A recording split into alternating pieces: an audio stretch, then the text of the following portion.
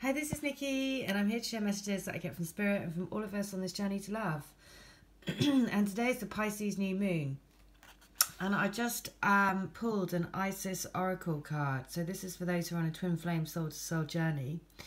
And I wanted to have guidance for what we need to do for the new moon. And um, this is the card. It was the Temple of the Black Obsidian. So I'm going to read it because if anyone wants to do this um, on the Pisces new moon, then if you take the opportunity to have a lie down, listen to this video, and follow the guidance of what it says. And it is about uh, basically releasing and healing the darkness within. So, this is the guidance they want to share to do for the Pisces new moon. And it is this so if you get the chance, then listen to this when you can relax, so you can lie down. And if you can do it on the evening of the new moon, if you're watching this video today, then it's the perfect time to do it. But anytime you're watching this, then it would be a good time.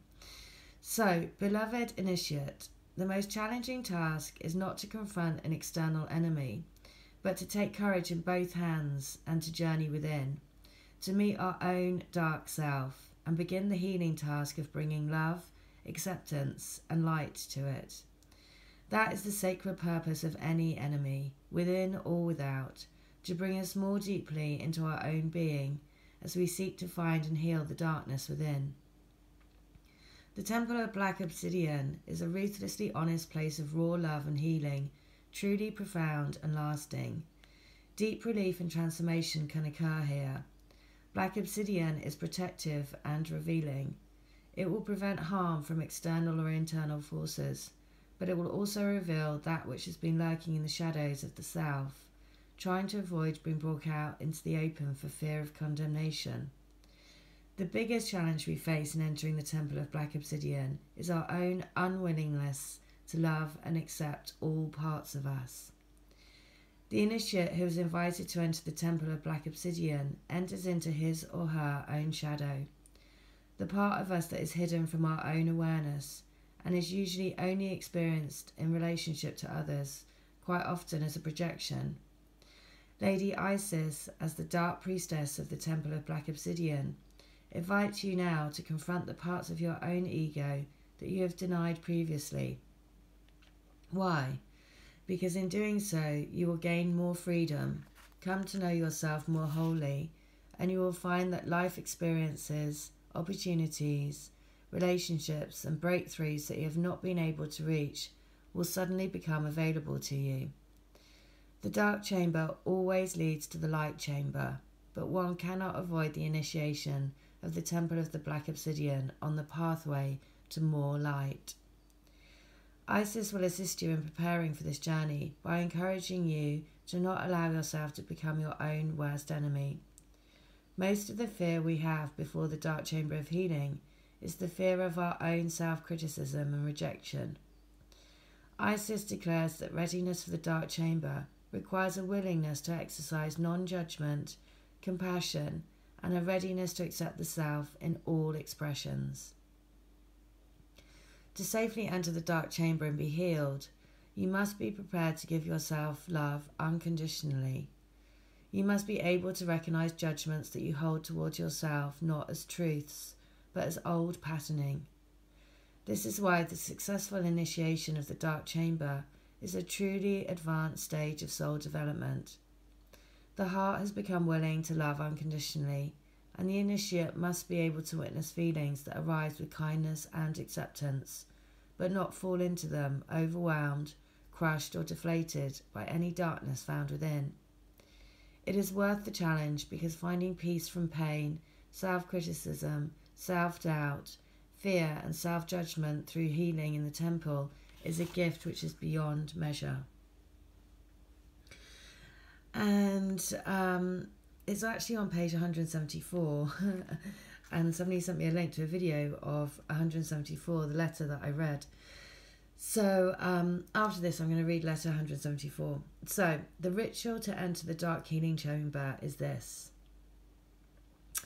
Find a peaceful quiet place to lie down and rest or sit comfortably where you will not be disturbed and can close your eyes and focus on your breath taking your awareness inside.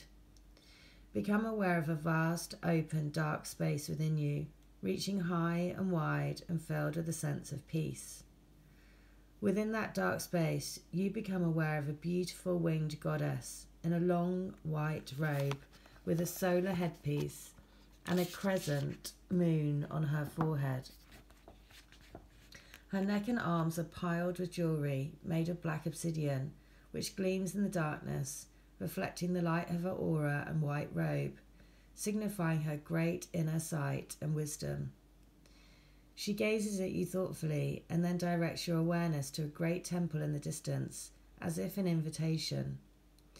If you wish to remain with her here, simply receive her blessed presence into your heart. Rest until you feel ready and then open your eyes. If you wish to continue, follow the remainder of the ritual. If you wish to proceed to the temple, you'll be instantly taken there with her now. At the temple entrance, there is a small antechamber, and as you step inside, you see that it is lined with rose quartz in soft pink, cool shades. The Lady Isis in her white robe is with you. She suggests that you take as much of this endless love energy that fills the antechamber of rose quartz into your being as you can. It will support you in the temple of black obsidian that lies deeper within the temple complex. You can do this by allowing it to penetrate your heart until you are as full as you can be. The lady offers you a small golden bottle which she has filled with the pure love energy. You can choose to take her gift with you into the dark chamber. Feel the love in your heart and say aloud, I am filled with love unconditional now, and I commit to love, honour, and accept myself, no matter what I see. I am human, light and dark, and I have been all things. I love all things, and I know that I am none of those things. I am a divine soul. I love, forgive, trust, and rescue myself from criticism now through my own free will as a sovereign being of light. So be it. She steps back from the entrance to the temple, and you see through it, entering into a dark chamber paved completely with gleaming black obsidian. The energy within the chamber is neutral, and the darkness of the volcanic glass reflects you at all angles and surfaces. You sit quietly in the center of the temple and become aware of the softness of the rose quartz energy that exists in your heart. You may see, sense, or feel all parts of you reflected in this dark cham- chamber. You can become aware of yourself in totality. What is your feeling of this? Is it peaceful, confronting, frightening, or loving? Or a combination of all of these feelings? If you can, send the love in your heart, the rose quartz energy in all directions, gently touching every surface of the chamber that reflects you back to yourself. If you begin to feel fear, hate, panic, or rejection, send more love, and if you find it difficult to do this, imagine drinking the gift in the bottle from Lady Isis, the strong love that she gifts to you, which will conquer any fear. If you choose to withdraw from the temple at any time, if the process becomes too intense, Isis will guide you back through the rose quartz antechamber and back with love to your heart, honouring your boundaries and your needs. If you choose to remain in the dark chamber, after some time, as you become peaceful in this space, it will open up like a pyramid unfolding from the inside, and you can step out of the top of it whole, and replenished. Lady Isis greets you and offers you another gift, a blessing of pure golden light in your heart. Be aware of your heart and your breath, acknowledging that you have done well. Return to your body now fully, and when you are ready, open your eyes. You can say this incantation at any time you need.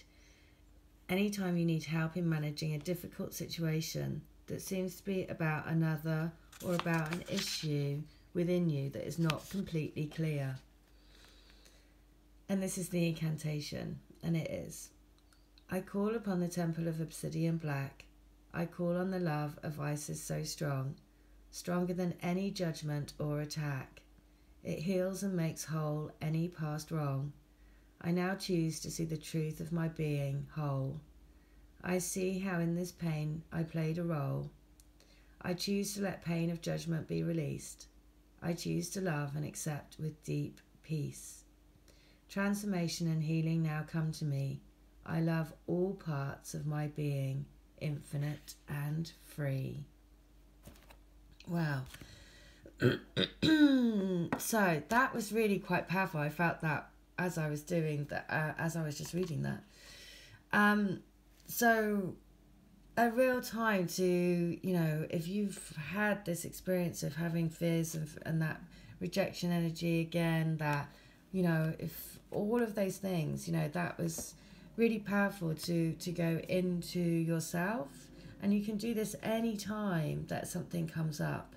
Um, and you can repeat this video anytime because it's basically going into the shadow to really clear and heal yourself and your twin will reflect that to you so that's the thing. You have to see it as a as a gift. It's tough love but it's bringing you a gift. So i'm going to read letter 174 and it is love love love is the answer.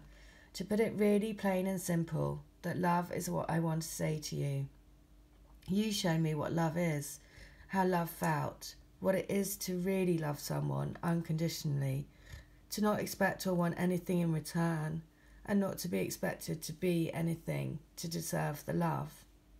It's a revelation. It's such a freeing knowing within the deepest part of me, like you've unlocked something in me and turned a key to let out a secret. The secret is you love me regardless of anything, that I love you every inch of you for you.